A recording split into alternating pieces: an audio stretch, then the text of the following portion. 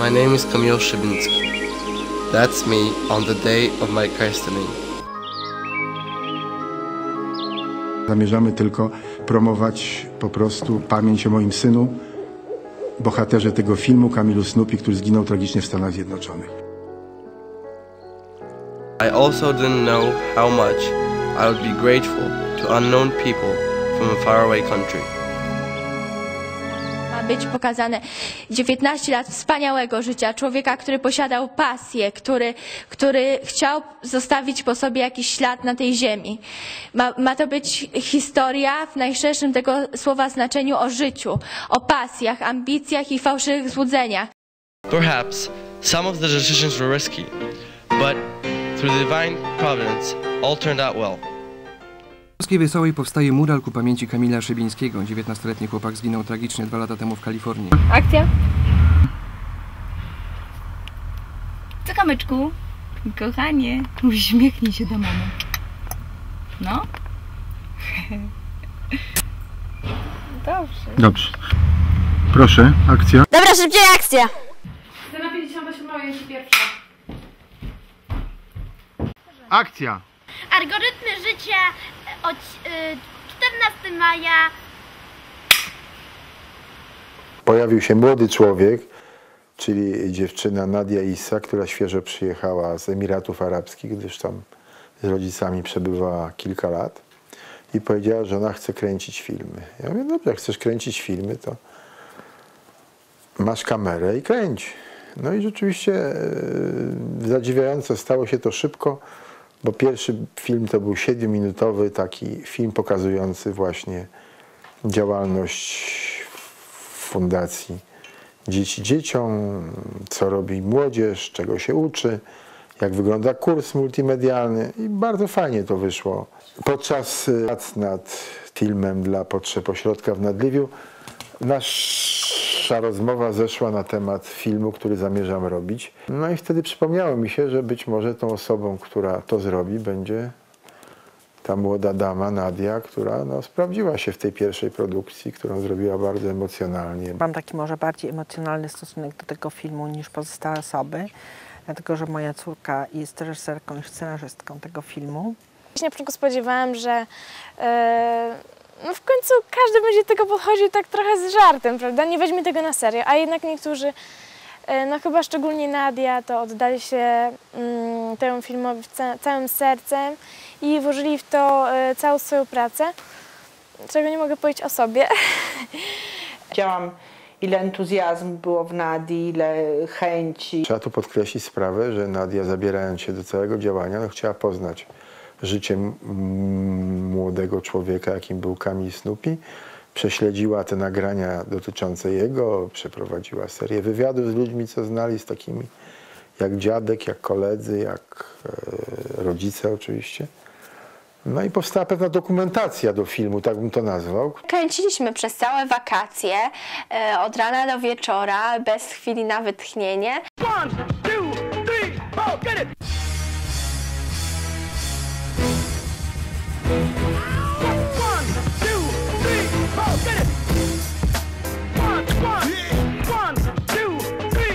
I said my niggas don't dance, we just pull up the pants and do the rock away. Now lean back, uh-huh. lean back, lean back, uh-huh. lean back. Come on. Yeah, we living better now, Gucci sweater now, and that G4 can fly through any weather now. See, niggas get tight when you worth some millions. That's why I sport the chinchilla hurt can find your crack at all type of shit. Out of Vegas front row to all the fights and shit.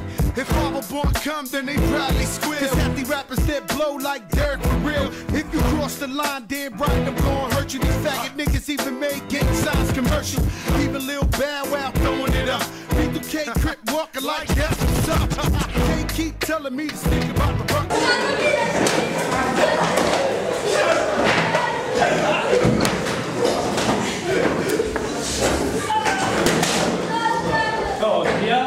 Dzień dobry. Przepraszam za spóźnienie.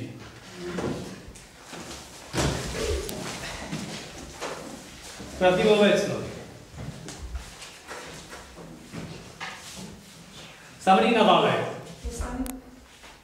Sikorski Tomasz. Jest. G. Jest. Tosia Meganowska. Karolina Wojanowska. Kamil Szyliński.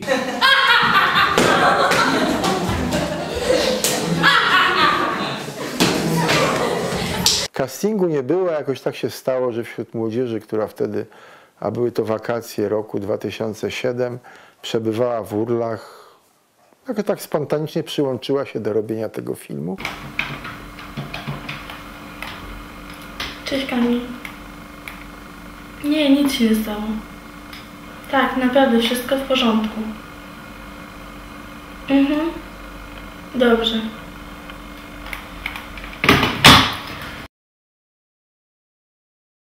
Któregoś dnia, gdy byłam na wakacjach w Urlach, to Nadia przyszła właśnie do mnie, do mojego domu i, i, i powiedziała, że właśnie kręcą z panem Krzysztofem film o jego synu, o jego śmierci i o jego całym życiu. Y, Jest sobie ktoś taki jak Nadia, stoi tam za tamtą kamerą, no i ja, ona przyjeżdżała na wakacje do mojej babci, tak co roku. Zawsze się interesowała filmem, jakieś filmy o jakichś księżniczkach, co wpadały do wody, nagrywała i to nie swoją kamerą na dodatek.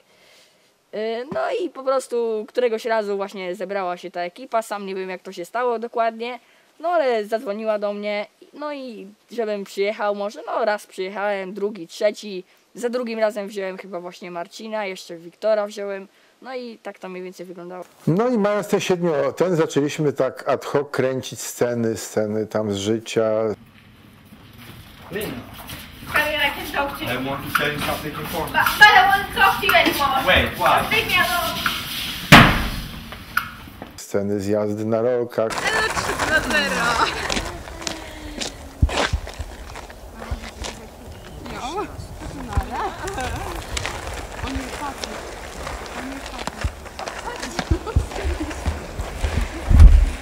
Sceny ze spotkań z kolegami, sceny z bujek w Stanach Zjednoczonych. Czyli powstało troszkę sporo materiału. Przekonał nas dopiero do tego, jak potężnym przedsięwzięciem jest zrobienie filmu fabularnego. Wtedy jeszcze może nie zdawałam sobie sprawy, że ten film jest skazany na klęskę. E, Po prostu traktowałam to może wtedy jeszcze jako e, wakacyjną taką przygodę, e, ale jednak pewnie dogłębnie gdzieś liczyłam, że skończymy ten film i że, że przyjdę na premierę e, i, będę przedstawiona jako pani reżyser Nadia Issa. No i tak trochę muszę powiedzieć, że bujałam w obłokach. No ja jestem zawsze takim marzycielem troszeczkę. Myślałam, że bardzo dużo y, możemy zrobić, że, że możemy być centrum wydarzeń, że będziemy jakąś popularną telewizją strasznie. No i generalnie y, spodziewałam się jakiejś sławy naszej, ale, no, ale to tak nie wyszło do końca, jak, jak, jak sobie wyobrażałam, ale i tak fajnie było. Moim zdaniem jest trochę ciekawie i śmiesznie. Można się pośmiać, bo e, macie przy sobie przyjaciół i jakoś mi się to spodobało. tak się złożyło, że, że to dosyć e, fajnie zaczęło przebiegać. Zorganizowaliśmy e, konferencję prasową. e, Zapraszam na konferencję prasową poświęconą filmowi Algorytmy Życia.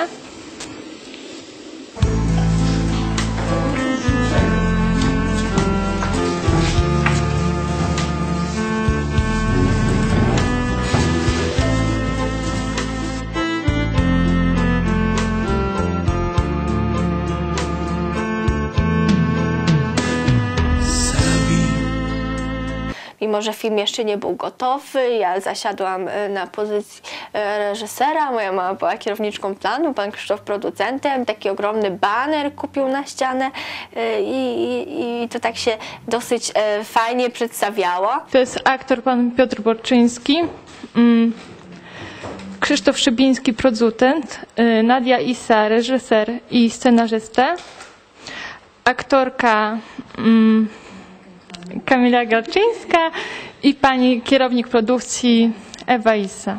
Udało nam się trafić na Michała, który no, łudząco jest w pewnych zachowaniach podobny do Kamila. Michał siedzi i pan Krzysztof się tak na niego patrzy. Pan Krzysztof się potem patrzy na mnie i mówi, ty Nadia, Michał by nie mógł zagrać Kamila? Ja tak się na niego patrzę, mówię, ja wiem, mówię, no niby nie jest podobny. No dobra, ale spróbujmy. No i jak zobaczyłam go, jak wychodzi na kamerze, to był niesamowicie podobny do Kamila i, i, i Michał był taką naszą wtedy perełką, bo też e, mimo, że o, o niektóre rzeczy się na niego wkurzałam, to jednak jako aktor według mnie e, się sprawdzał. Kamil, tylko do matury, a potem jak zobaczę to w twoim ręku, to gorzko pożałujesz. No dobrze, tato, już nie będę.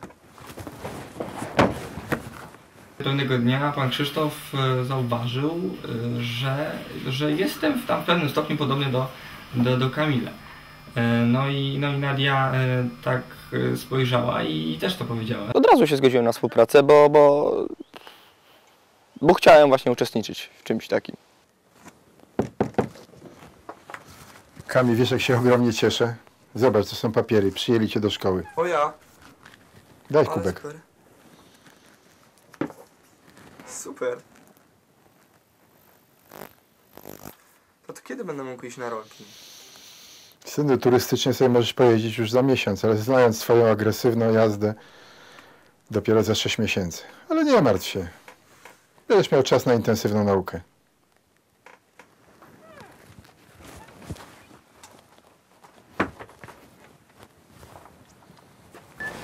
Synku, wiesz, ta Ameryka to nie jest taki bajkowy kraj. Wiem, tato, wiem. Jedziesz tam na kilka lat, to musisz bardzo, bardzo uważać. Wiem. No jak tam przyjadę, to Ameryka zobaczy, jak jeździ Polak na rolkach. No wiesz, ale z tym też musisz uważać, bo wszędzie się kryje niebezpieczeństwo. Oczywiście.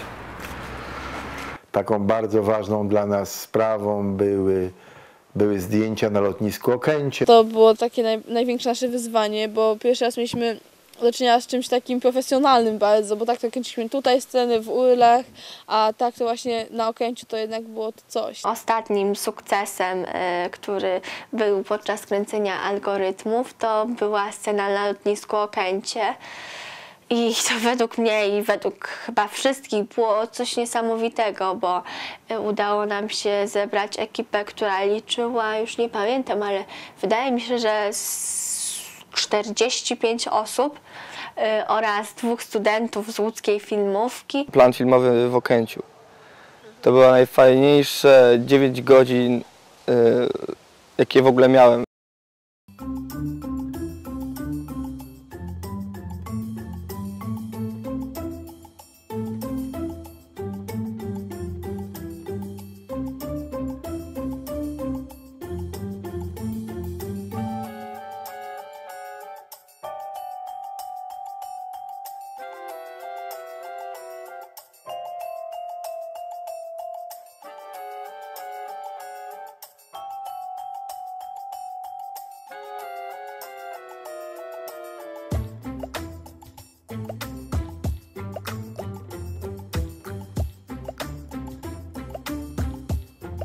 Taka rzecz jak zdjęcia na Okęciu zostaną do końca życia. No.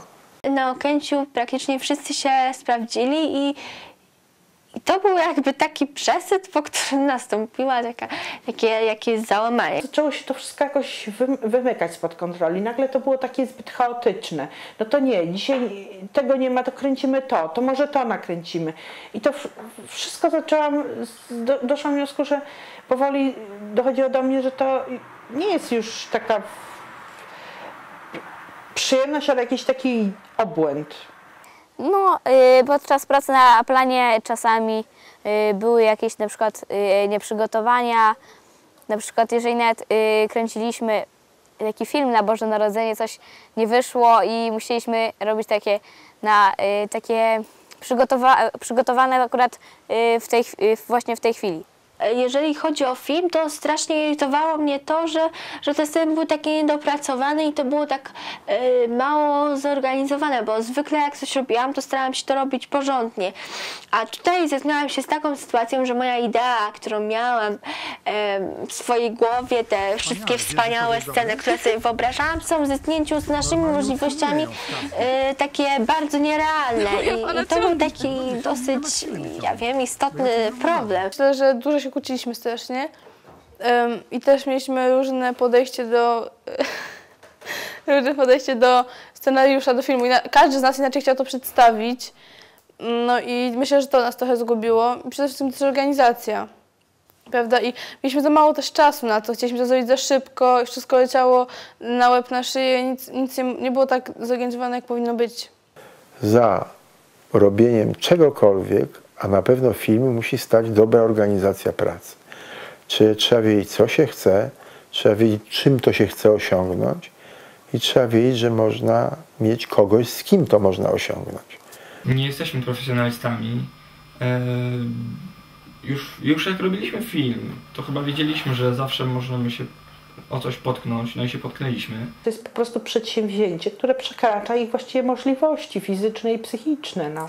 Trudno, żeby 20 osób e, zrobiło film, który no, potrzebuje minimum setki ludzi.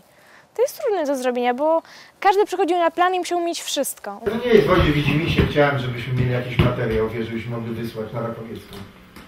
Uwaga, cięcie! Nie trzymać tekstu. Dobrze, no fajnie. Dobra, poszła.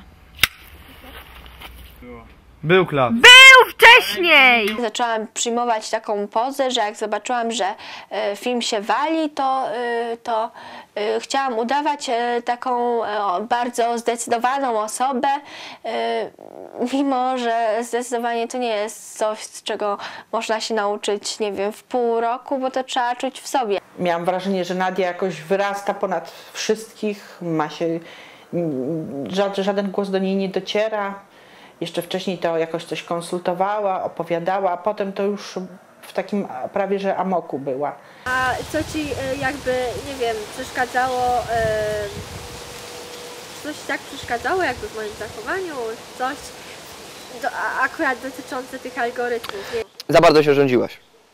Generalnie przyjęłam taką otoczkę, że nie, że jest dobrze, że film się kręci, y, ja jestem zdecydowana, przyjęłam taką przykrywkę, że, że właśnie, y, że skoro y, będę taka bardzo rządząca się i zarozumiała, to ludzie nie poczują mojej słabości, którą było to, że, że nie jestem jakby w stanie na tych możliwościach dokończyć tego filmu. No myślę, że tutaj odegrała sprawę z jednej strony ogromna ambicja taka, że ja wam wszystkim pokażę, ja film nakręcę. Z drugiej strony jakieś na pewno zobowiązania wobec pana Krzysztofa. Wiedziałam, ile ten film dla pana Krzysztofa znaczy i chciałam, żeby moja porażka stała się jego porażką. Wiedziałam, że, że to go może trochę złamać, bo wcześniej e, robił e, sporo rzeczy, na których nie wiem, wydaje mi się, że się trochę zawiódł. Moim celem było to, żeby pozostawić właśnie taki film, który by kiedyś przypomniał, że był młody człowiek, który po prostu no, w ciągu swoich 19 lat życia dokonał tak wiele, odszedł i coś po nim zostało. Kamil był człowiekiem, który miał pasję, który chciał dużo y, zostawić po sobie. My brother and I belong to the top team of Polish skaters. We compete internationally, often winning prizes. We write articles for youth press covering the sport. At present, I am ranked second in Poland in the category of street seniors.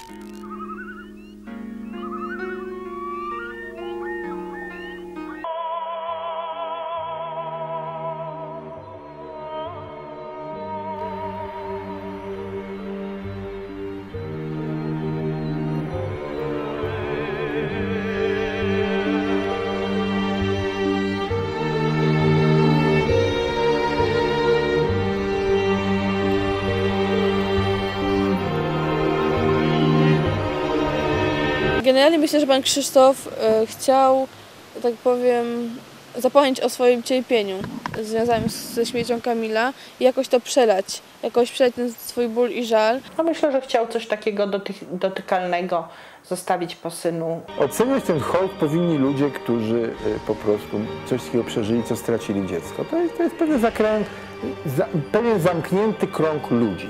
Tak bym powiedział.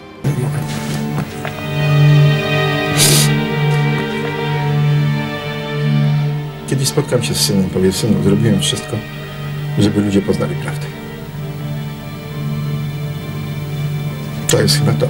Mówił, że bardzo zadowolony jedzie i tak dalej. Ja mu mówiłem, że słuchaj Kamilku, jedziesz e, do kraju, gdzie są rozmaite narodowości, rozmaite, mówię, sekty, prawda, i tak dalej, żebyś się nie wdał w jakieś, znaczy się, takie tego.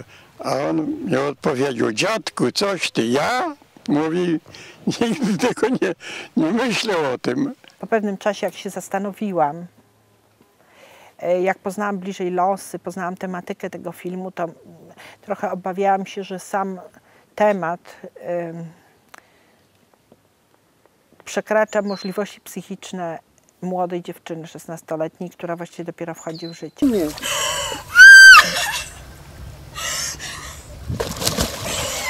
Nie.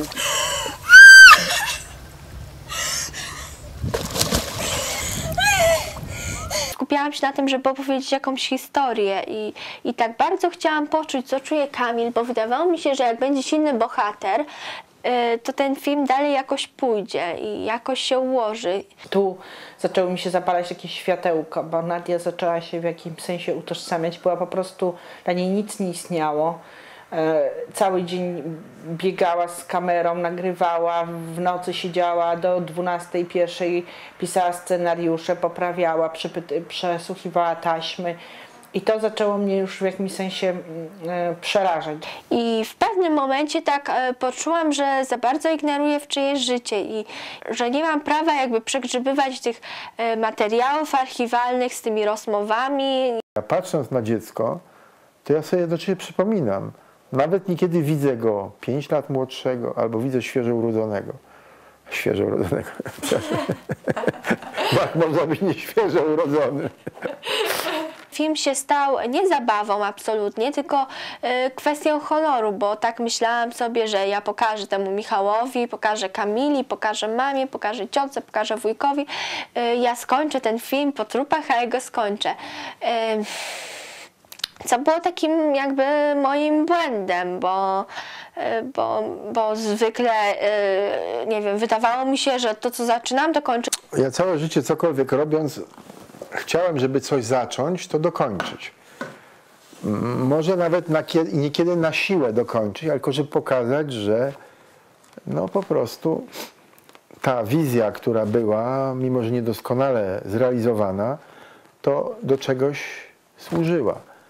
Chociaż w takim drugim planie, powiedzmy, to była sprawa, e, o co naprawdę najbardziej mi zależało, stworzenie grupy ludzi, którzy będą coś wspólnie robili, bo e, film miał być takim spoiwem, które ma tych ludzi razem, A czemu sfałszowałeś? razem scementować, No. nauczyć współpracy, jak mówiłem wcześniej, komary, i jednocześnie pokazać, że młodzi ludzie coś mogą potrafić. No. Jakie komary? Komary nie gryzą. Uświadomiłam sobie, że e, przy takiej ekipie, przy takiej ilości ludzi, przy tak małym zaangażowaniu w sumie, bo na początku był ten entuzjazm, ale potem każdy tak jakoś mi się daje, że te pozostałe osoby to tak, no dobra, no to pan Krzysztof, to pójdę, zagram, to nie, mi głupio odmówić. E, ktoś tam jeszcze dla zabawy wystąpił, ale do takiego filmu to jest potrzebne przedsięwzięcie, wiadomo, ogromne. I już e, w sumie, gdyby człowiek tak logicznie pomyślał na samym początku, to, to w zasadzie już na samym początku można było przewidzieć, że e, z tego nic nie będzie. Ktoś kiedyś powiedział tak ładnie, że chcieć to móc, aczkolwiek no nie można, jak to się mówił, też jest inne powiedzenie, nie można iść z motyką na słońce i to takie troszkę myśmy wybrali taką formę pośrednią. Nie było realnej możliwości ukończenia tego filmu. Jeżeli mimo wszystko byście ukończyli ten film, to znaczy posplatali te zdjęcia, te, te kadry, które nakręciliście do tej pory, no to by wyszedł gniot. I myślę, że to by było bardziej bolesne niż, e, niż samemu przyznanie się do tego, że na razie nic z tego nie wyjdzie i odstawimy to. Tak mnie się wydaje. W momencie, kiedy algorytmy się zawaliły, to poczułam takie niesamowite uczucie pustki, bo, bo jednak e, było to ciężka praca, ale, e, ale mnie odciągała od myślenia nad, nad pewnymi rzeczami i, em, i zabrakło mi e, tych spotkań wesołych i, i tej całej szarpaniny. Jest trochę żal, że, że się nie, nie skończyło tego filmu, bo jednak się włożyło trochę serca w to i naprawdę trochę szkoda, naprawdę szkoda, że się nie udało tego dokończyć, ale może kiedyś się uda. Czułem się y, bardzo głupio, ponieważ było wiele, wiele, wiele, y, znaczy miałem, rozmawiałem strasznie dużo kolega, z kolegami y, na temat tego filmu, w którym grałem, że gram główną rolę, że tam będą jakieś premiery w Pałacu Kultury, gdzieś tam jeszcze, czy tam gdzieś jakoś za, za granicą, czy coś takiego. No i, no i za dużo się jakby tym chwaliłem, że, że no myślałem, że to bez problemu wyjdzie. We wrześniu miałam taką manię, że opowiadałam o tym filmie e, swoim znajomym. Pan Krzysztof też porozpowiadał e, swojej rodzinie o tym, że kręcą. Nawet e, zaprosił na premierę niektórych. Z reguły ci, co ich dotknęło nieszczęście, to opowiadają o tym nieszczęściu. To jest ich taka już do końca życia trauma, którą przeżyli i która musi być podkreślona wiecznie, wiesz, tym, no. Ciężko jest obcować z kimś, komu umarł syn, bo jeżeli słyszymy o takich tragediach w telewizji, to tak, że, tego nas, że to nas nie dotyczy i że raczej z nikim się takim nie stykamy. A tutaj nagle spotykam, spotykam człowieka, który autentycznie e, stracił syna w Ameryce i to nie wiadomo jak, co się stało, więc to było takie przeżycie dosyć piorunujące. Uświadomiłam sobie, że Nadia ma tylko 16 lat. No i pewne rzeczy są dla niej za, za poważne. Traktowałam ten film jako moją życiową szansę, i, której drugi raz nie dostanę. I, i, I właśnie było tak, że podczas e, kręcenia algorytmów jakby wzniosłam się jaki, na jakiś wyższy szczyt i, i czułam się niesamowicie szczęśliwa. Gdy dostałem główną rolę, to wiedziałem, że przez ten okres, który będę tutaj grał, jakby wszystko będzie się skupiać na mnie. E, Michał, musisz, musisz być tu, bo gramy to. Bo oczywiście z tobą główna scena. Z Kamilem, bohaterem, jest najwięcej scen, bo to jest film o nim.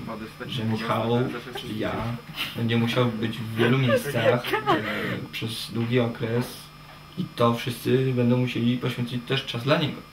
To było po pierwsze. Yy, spędzony czas w Okęciu, który był dla mnie naprawdę ogromnym przeżyciem, bo to był pierwszy plan filmowy, yy, na którym ja grałem główną rolę i to było naprawdę super przeżycie. Fajniejsze sceny to były te w samochodzie, gdy jeździliśmy e, z lusterkiem i z kamerą tak tutaj wystawioną przez okno. I to było fajne, bo musieliśmy tak e, czekać na pociągi i cały czas jechali, jeździliśmy. Znaczy to, to była taka fajna scena, taka e, naturalna, e, że tak powiem, że się mówiło. Nie? I, y, wiem, jed- jedno z, z takie lekkie, no to to, że ja miałam przygodę z filmem. Gdzieś tam jest moje zdjęcie jako e, siostry zakonnej. Tak, Pani Elu, ale tu ptaki nie śpiewają tak pięknie jak w Polsce. Resurrection Hospital, Mary Julian speaking. A hello, hello, dzień dobry panie Krzysztofie. Już proszę żonę. Pani Elżbieto, pani Elżbieto, mąż telefonuje. Halo?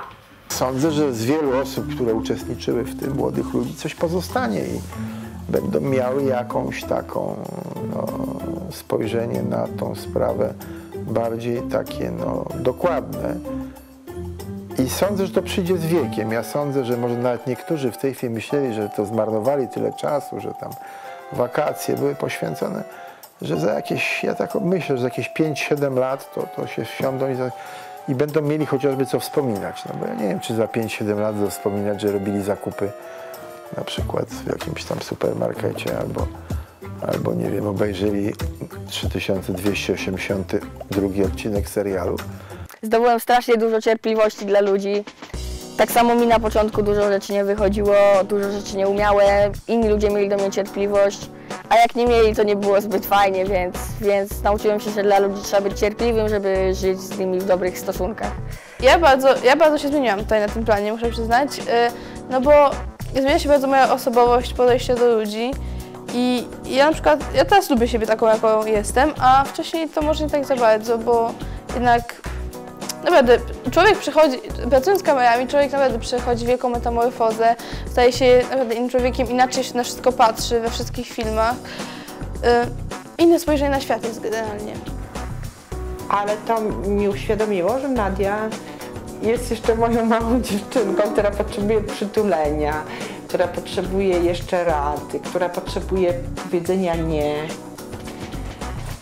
A ja ją to właśnie tak puściłam na szerokie wody i mówiła, Nadia sobie da radę, ale to jest nieprawda. Nadia sobie wcześniej dawała radę, ale to po prostu ją przerosło. No, ale tak mi się wydaje, że chyba to jakby doświadczenie z filmem było do czegoś potrzebne. Po pierwsze, e, przestałam wszystko traktować e, jako sprawę życia i śmierci. I to mnie w pewnym sensie uratowało, bo zrozumiałam, że, że w życiu wcale nie wszystko wychodzi i, i że to nie jest takie banalne, jak mi się zdawało. Akcja. Cześć piesek!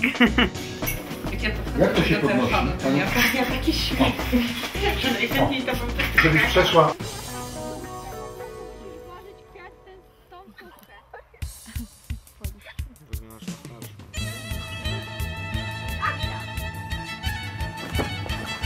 Tylko zdasz maturę i tylko maturę. Jak zobaczę to świństwo w twojej dłoni. Co? Co?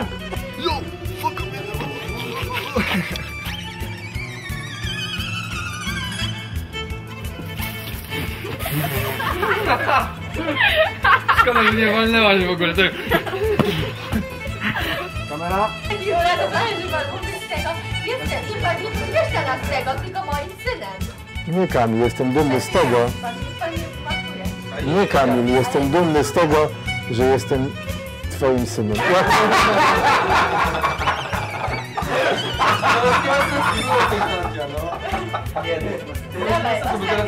Dobra, uwaga, już ostatni raz. Buzi w czoło!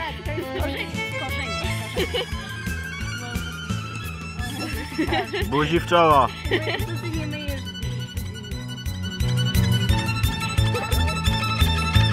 Miało być buzi w czoło, idź ty kurde.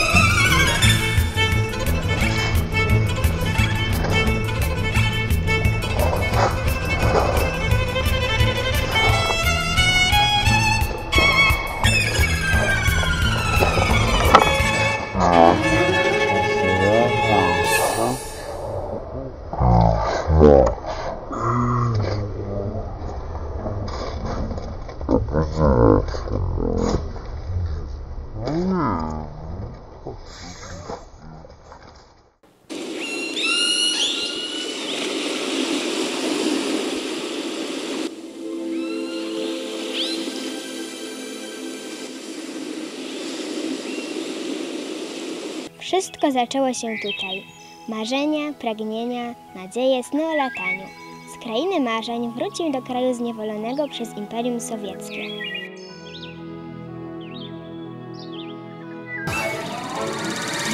Tutaj dorósł, poznał życie,